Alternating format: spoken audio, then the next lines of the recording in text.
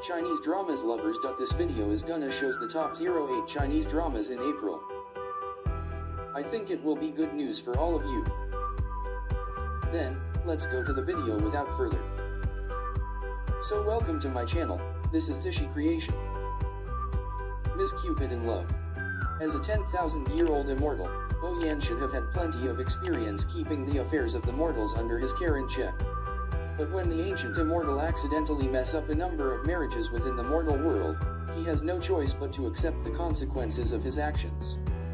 Demoted from his post in the heavens, Bo Yan is sent to the mortal realm to experience the trials faced by the humans he spent so many years watching over. Sharing a desire to save the world's marriages from chaos, Chu Ye and Xiao Yat embark on a journey to do just that.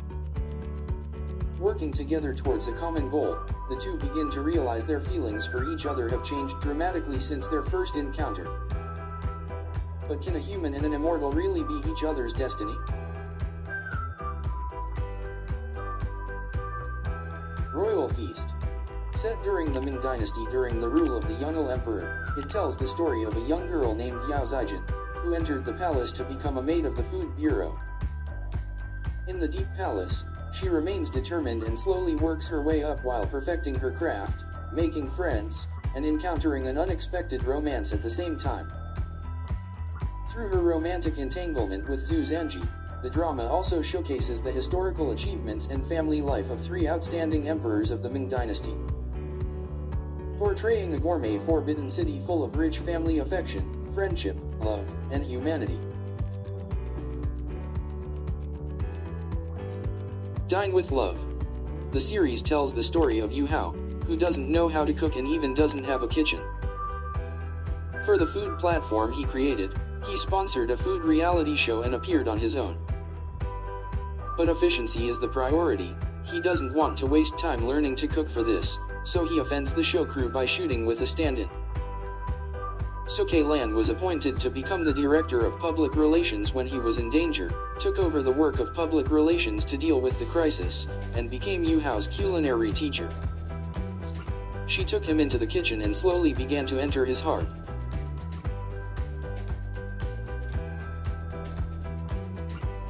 About Is Love.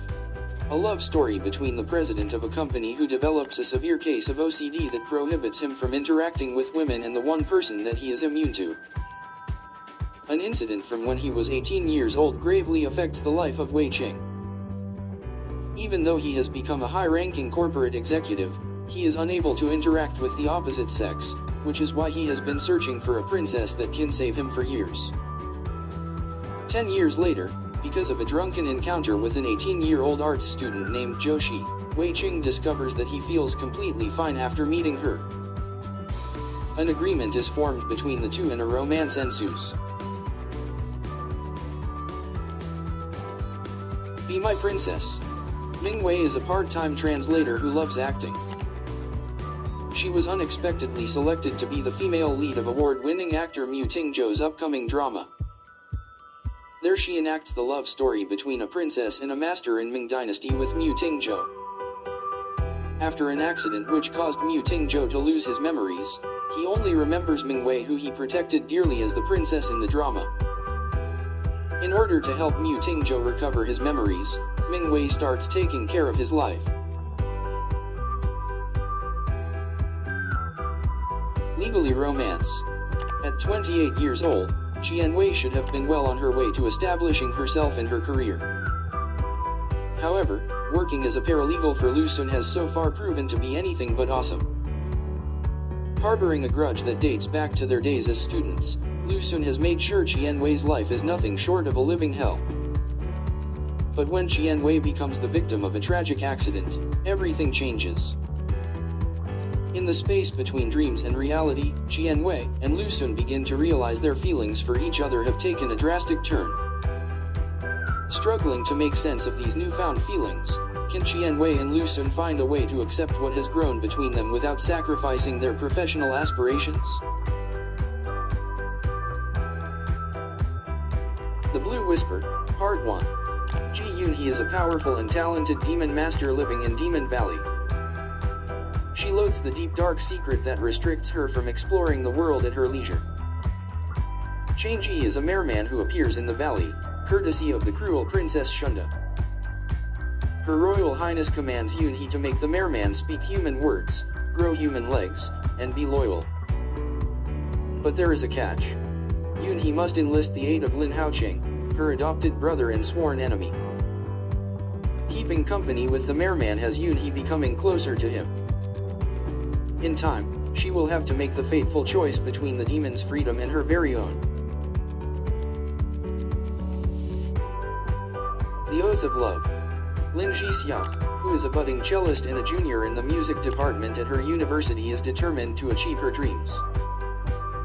Her world comes to a grinding halt when her father is hospitalized and diagnosed with cancer. She and her mother must face many uncertainties. Gu Wei, the doctor in charge of her father's treatment who has been going through a rough time of his own, enters her life firstly in a most awkward and unexpected way. However, as they get to know each other, they begin to form an understanding. As time progresses, they start growing closer. But will love follow and will they be able to finally find the happiness that they both need so much?